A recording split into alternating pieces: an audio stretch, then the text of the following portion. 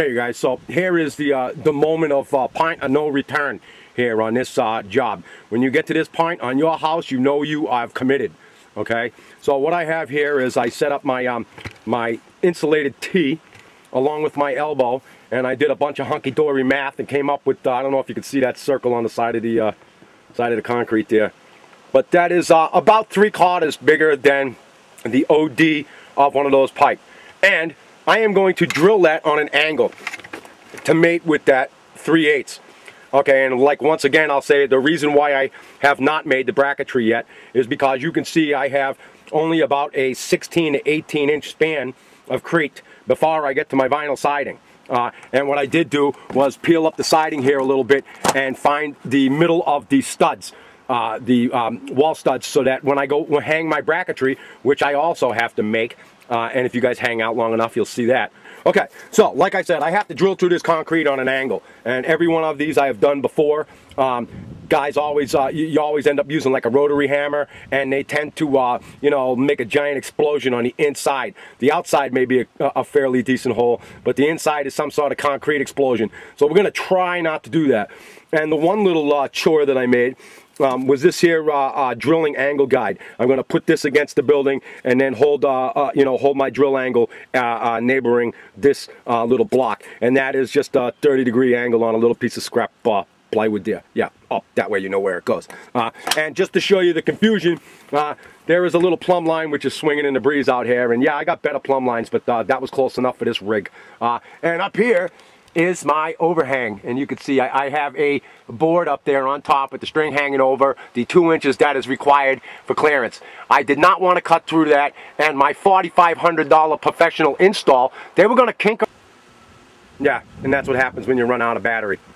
So, um, that being said, let me say that if you're doing this and you don't own a rotary hammer and you're renting one, be sure that you get more than one drilling bit invariably you will stick one in the concrete and if you don't have another one to keep going with and to dig your drill bits out um, you will be stuck. So let me show you what I have here.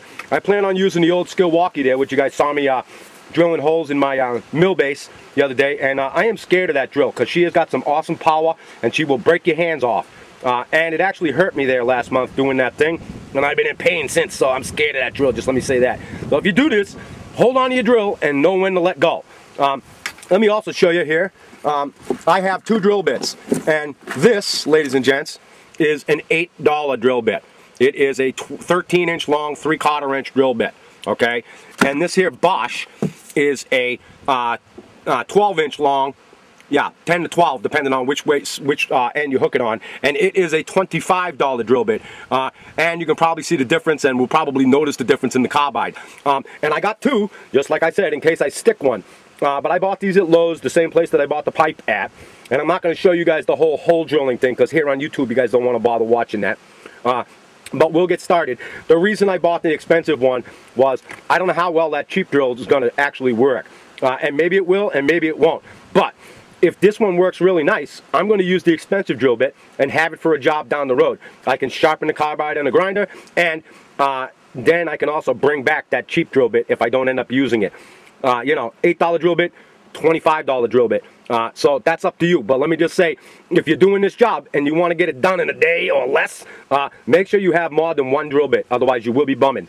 Okay, so here's the hole. I'm going to get this stuff out of the way and we will get started. Okay, guys, so like I said, I am going to use my little uh, drill thing here to keep orientated. Um, and that is going to keep me at my angle. And with any luck, this pipe is going to come out on that angle, right through the wall, perfectly good, and line up with that elbow first thing, uh, which has to be there so that I can get away from the building and get through the concrete and use a 24 to 36 inch piece. Uh, you know, there is no in between there, so uh, that's what I got to do.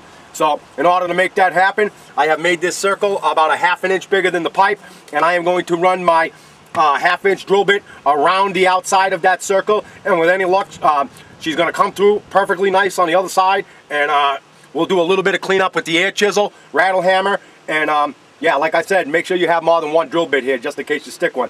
You guys aren't going to see all this because not only am I going to run out of battery, but you don't want to watch all that. Nobody ever does here on YouTube. So, all right. We're going to send in and then angle it.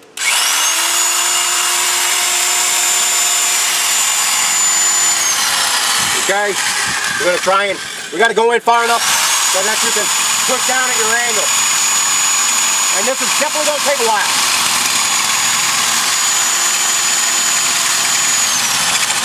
Okay, I'm in about a half an inch and I can actually start to feel the drill bit is starting to bite and I take my little guide there that I'm going to use and we're going to start going in at the angle there.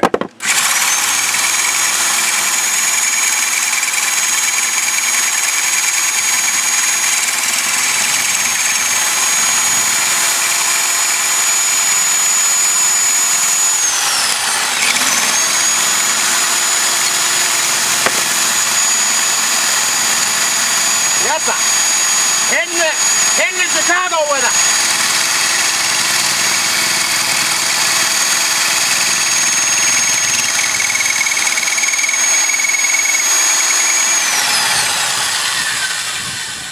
Okay, ladies and gent, hopefully that camera's still recording there. Yep, you're getting shot on uh, shot on battery, and you do want to make sure that you hold, you know, keep keep uh, keep square with your hole there, and uh, I advise if you're doing this on an angle, or even if you're not, if you're trying to go straight in with it, make yourself a little block like this, or whatever angle you need, uh, and it will definitely help keep you lined up. You know, hold against the building, check it every once in a while, and we're good, right? All right.